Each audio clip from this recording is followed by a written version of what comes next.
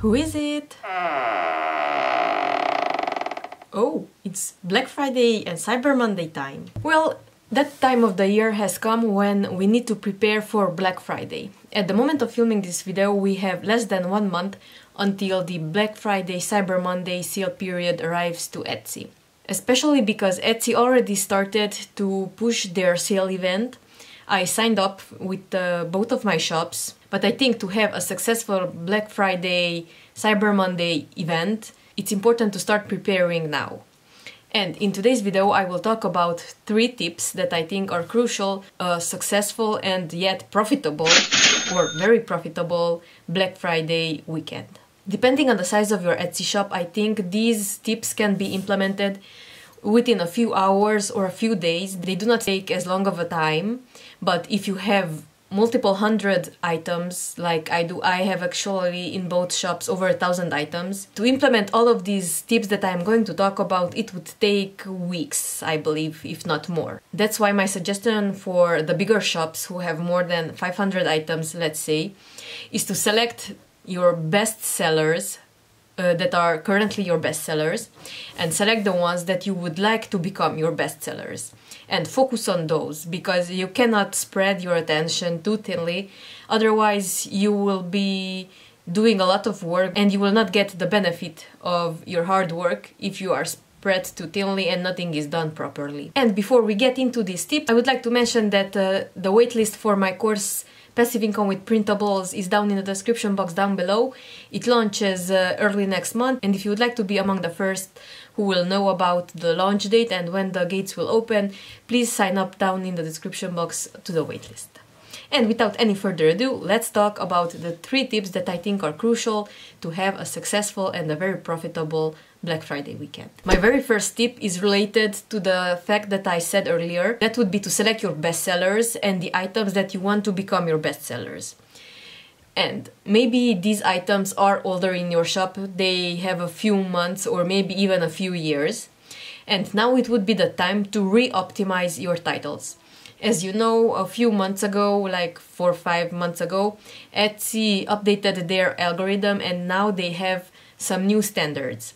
And to adhere to these standards, you need to do some updating. And for this, I would recommend the tool that I use, and that would be Sales Samurai. As you can see on my computer screen, I selected this pet planner as an example for today. As you can see, my title is quite short and it's not the best because it uh, doesn't have enough keywords. The description is okay, but I would like to update it. And I'm okay with the images, so we are not going to bother the images today. So now we are going to go to the tool that I use and that would be Sales Samurai. We are going to do a keyword research session for this. And let's type in pet planner. Now let's see the result. Pet planner is considered a really good keyword and the competition is like in the middle somewhere. So it's not very overcrowded. The Google competition is high though. Click-through rate 10%, that's uh, a decent amount. Let's see what do we have here digital pet planner that could work. Pet planner printable that's okay. Printable pet planner. Uh, we the stickers are not good for us because this is not a sticker. And let's see what else do we have here. It also works for cats and dogs not just for um, one specific pet so we can use the words cat and dog to niche down even further.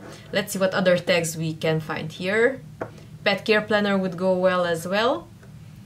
Okay now and here are the top listings. Okay now let's go over to Etsy and edit the item based on the keywords that we found here can just simply edit it from here we will start with printable pet planner because that's the main keyword I want to go for because that's what this is, a printable pet planner. Now let's find another one that I think would go well in a title. Let's say pet care planner, I like that.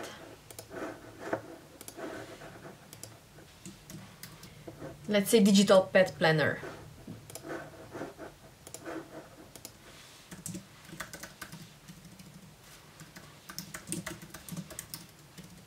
Now I still have a few characters left in my title, but I do not want to keyword stuff my title because Etsy might start defavoring this item because the title is too stuffy with keywords. Instead, the other keywords that we found together a few minutes earlier, we are going to incorporate into the description and into the tags of course. If you don't have the colors filled in uh, at this point it would be a good idea. When you are doing one of these optimization sessions it's good to fill out all the missing information that's not there yet. I'm having it on automatic uh, renewal, that's what I do for almost all of my digital items and when I see that something is not selling and it's just renewing and renewing, I will put it on manual mode and I will let it go out and it will expire eventually. So let's take our title and let's rephrase it somehow in the description so that it will be more of a cohesive text and not just keyword after keyword. I will start writing and we will catch up at the end.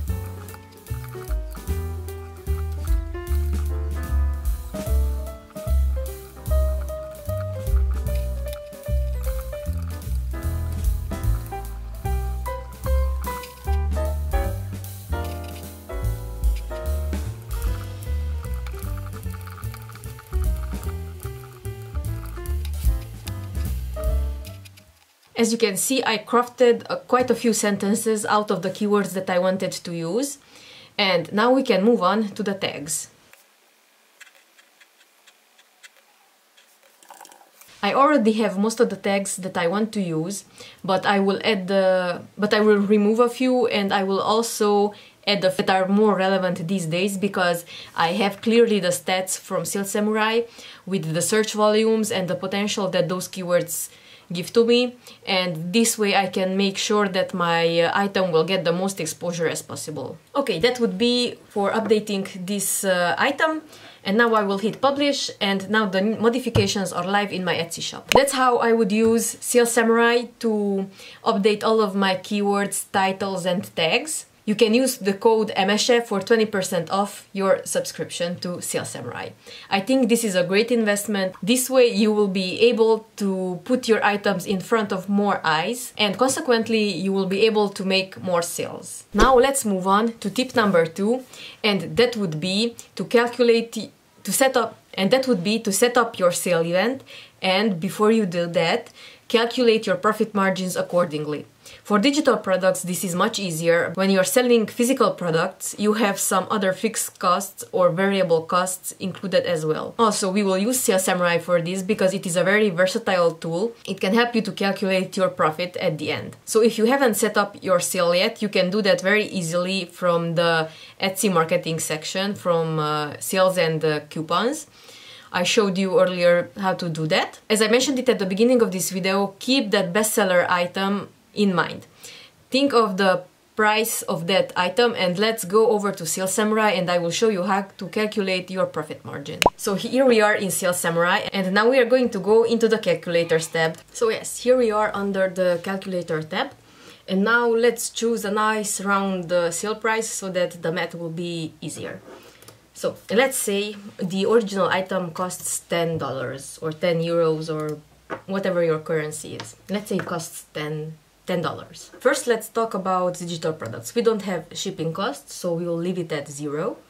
And the discount will be, let's say, 20%. Labor, material, shipping, Etsy ads, renewing. Yes, in this section I'm going to leave everything at zero because I assume that I will be not running any ads. But if you do run ads, then you can add the 1 or 0.5 or something here in the Etsy ads column. And if you would have physical products, then you could enter the cost of the material and your labor. You should always include your labor into items, but because we are talking about digital products and I created this item like two or three years ago, I think two, I cannot measure the amount of labor that I already put in in 2019 or 2020, if you know what I mean. So I will leave it at zero and we will consider the labor cost part already paid for this item and everything that we get is profit from now on. In this scenario, we will not have any offsite ads. The listing fee is the usual um, 20 cents and now when I hit calculate, uh, Samurai will calculate uh, the transaction fee, the processing fee, and here we will see the end profit that we will have. So let's hit calculate. We can see the results that the transaction fee will be 52 cents, the payment processing fee will be 49 cents, and the total fees will be 121. Now let's see. The final price will be 8 because we had the 20% discount. Uh, we do not have the costs because in this case we are considering that we are not running any ads and I discussed the labor costs a few seconds ago. The total fees are here and our final profit. This means that we have 85% profit margin, which is really amazing. That's why I really like digital products because the profit margin is really high. So by knowing your profit margin and your final profit, you can play with the discount percentage so that you still make money. But if you offer a higher discount percentage, your sales volume could be even higher during the Black Friday period. And my third and final tip would be to start preparing your social media posts right now, like one month ahead, because this way you will see the clear path how your feed will look on each platform. Let's say you have Instagram and TikTok, you should start filming uh, reels you should start creating your posts in Canva, which is really easy because Canva has lots of lots of pre-made uh, Halloween and Black Friday themed uh, templates. Let's check those out. I also have a Canva Pro link in my description box. If you decide to purchase Canva Pro, I would really appreciate if you would use my link because that way you would be supporting this channel so that I could bring you more free content here on YouTube. Here we are on Canva and let's check what kind of elements do they have for Black Friday. As you can see, there are 9,100 items for just for Black Friday. Let's see the items and maybe we could pick out a few that stand out even more. I really like this one. This one is nice too, not that black, but the colors still stand but the color still stands out. All the sizes and all the shapes. So you can pick and choose if you would like uh, anything from Canva and you can customize it with your own items. So those would be my most important tips to prepare for Black Friday and Cyber Monday weekend. You can do these steps starting right now so that by the time that weekend comes around, all of your listings will be ranking as high as possible on the Etsy platform. Thank you very much for watching. Please check out the links in the description down below. Hit the like button for the YouTube algorithm, consider subscribing to my channel and hit the notification bell so you will never miss another video in which I talk about digital products, making money online and business finance. See you in the next one. Bye bye!